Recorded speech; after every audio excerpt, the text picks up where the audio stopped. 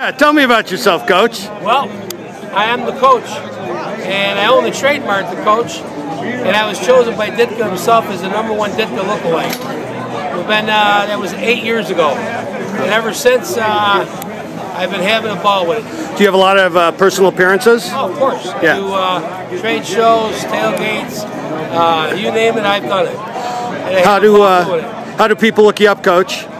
You have a website? Go to ditkalookalike.com. All right. Go Bears. Bear down.